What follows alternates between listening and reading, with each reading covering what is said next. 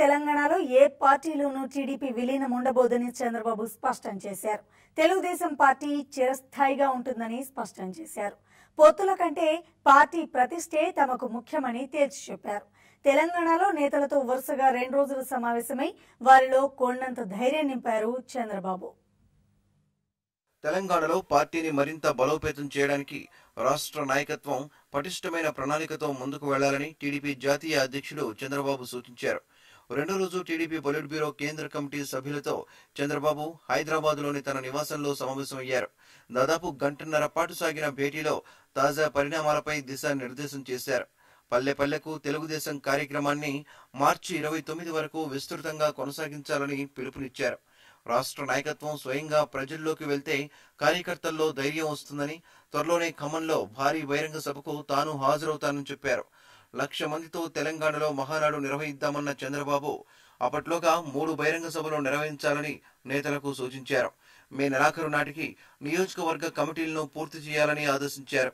సొంత కాలం మీద మనం నిలబడాలి. మన కార్యకర్తలను అన్ని నియోజకవర్గాల్లో కూడా సమాయత్తం చేయాలి. ఒత్తులు మాత్రం ఎన్నికల టైంలోనే మనం అనుకుందాం. ఇప్పటికైతే బీజేపీ వాళ్ళ వైపు నుండి స్పష్టత ఇచ్చిండ్రు. మిగతా ఆప్షన్స్ ఇప్పుడు మనం ఎలాంటిది చర్చించాల్సిన పని లేదు. సందర్భం సమయం వచ్చినప్పుడు వాటి గురించి మాట్లాడదాం. అన్ని నియోజకవర్గాల్లో కార్యక్రమాలను ముమ్మరం చేయండి అని చెప్పి వారి సందర్భంగా ఆదేశించడం జరిగింది.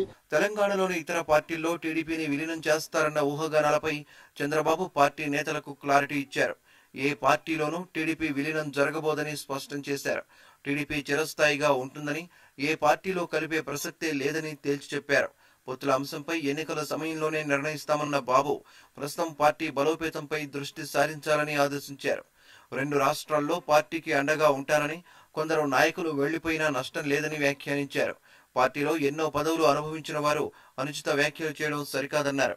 తెలంగాణలో టీడీపీ పగ్గాలు జూనియర్ ఎన్టీఆర్ లేదా బ్రాహ్మణ్కి అప్పగించాలని ఎప్పటినుంచో కోరుతున్న టీడీపీ నేతలు ఈసారి అధినేతకే తమ డిమాండ్ వినిపించారు. పార్టీ శ్రేణులు ప్లకార్డులు ప్రదర్శిస్తూ పెద్ద ఎత్తున నినాదాలు చేయడం హాట్ టాపిక్గా మారింది.